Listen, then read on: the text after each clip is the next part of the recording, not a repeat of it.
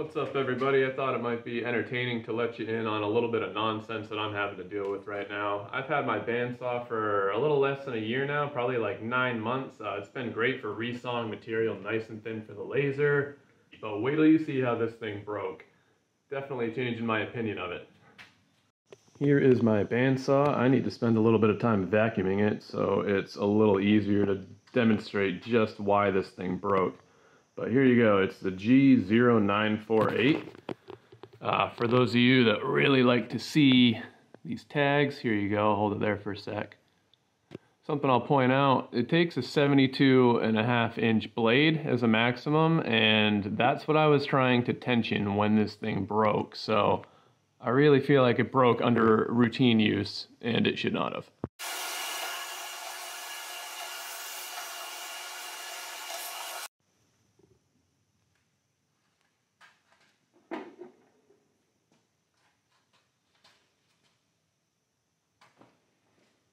Okay, so here it is, the big reveal, exactly what happened here. So, this threaded rod here is what turns and tensions the blade. So first let's go ahead and detension this, take the tension off this and pop the blade off so that this is a little more accessible. I'll pop the wheel off here too so you can see the little spring assembly. So here's where the knob would sit. Obviously it would be a lot easier to turn this to take tension off the blade, but I can still crank this and get it done.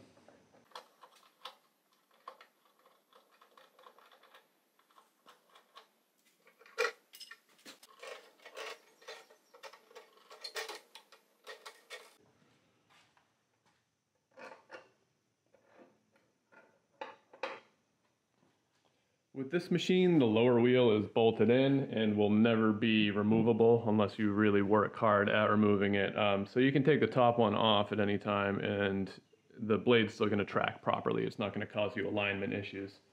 You got this knob here, sits right here. Uh, here's what the fitting looks like. I believe this was just pounded into place. I didn't see any adhesive. If they used adhesive to attach this to this threaded rod, that runs through the spring. Uh, it's there's no residue at all. It just looks like a jagged piece of metal that is snapped. See that? So it's just I'm going to use that word, man. It's asinine to me that this plastic piece is just friction fit on here because as you tighten the bandsaw, right, and this area moves up starts to force this to move the pulley and get your tension, uh, what you end up with is this threaded rod is basically pulling down on the handle because the handle just sits right here, right? It's pulling the handle against the top of the machine. And what you can do very easily is just go too far with the threaded rod. And if you go too far with that threaded rod, the handle just pops right off. So, in my humble opinion, the right thing to do would have been to have this part just be cast with this rod and one continuous metal piece leading to a metal handle right up here. Uh, basically, no opportunity for breakage that way. I'm not sure if this was designed to break this way.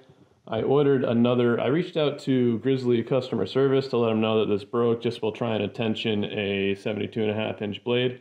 And they basically just sent me a link to the part instead of offering to send it or anything. So I wasn't really impressed there. I did mention that it was less than a year and all that. Um, so yeah, definitely not the ideal solution, but the part was only $11. So not a big deal ultimately. I went ahead and ordered it. It's on the way here.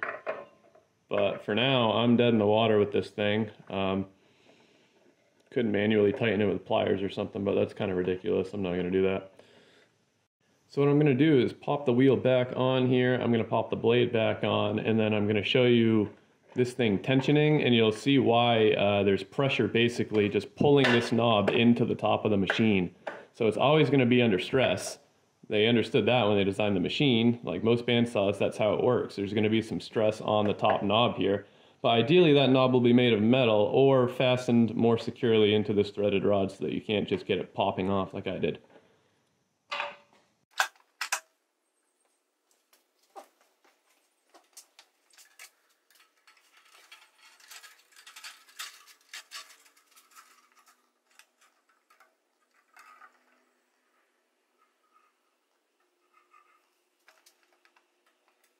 Okay, so if we go ahead and turn this to see the pulley move up. There we go, I'll move that so you can see the spring. You see the pulley move up. You'll see the block move up this threaded rod and compress the spring against this top piece here. So you can imagine the rod is being pulled this way pretty much constantly. So we got the new part in the mail. Uh, I am guessing it's just going to break again because there's such a downward force being placed and that knob is expected to just hold up and prevent that bolt from going down into the machine further than it should, from threading in farther than it should. I didn't feel any resistance really at any point that stopped me from turning the knob, so I just kept going. If I had the machine open, I may have noticed that I was running out of clearance and could have stopped trying to tension it. But again, this all happened trying to tension a blade that the machine said I could use. So I think moving forward, you want to stick in the lower range for the blade length for this. Probably a 71 and a half inch blade is going to be a lot easier to tension because you just don't need the travel to move that pulley. You know, the blade is smaller, so it doesn't have to tension. You don't have to crank on that knob as much to get it to tension the blade. So that's what I'm going to do moving forward. I would have been happy to do that in the first place if I knew this machine had that limitation. So anybody out there have this machine? Have this problem? Anything like it? Anything else I should look out for? Let me know. Otherwise, I've been a fan of the machine. It's in like the $500 range. Um, I'll try to post exactly how much I spent on it.